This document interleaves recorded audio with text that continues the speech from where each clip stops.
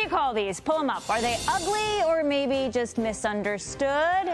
Ew, I know. Crocs unveiling the new collaboration with everyone's favorite ogre, Shrek.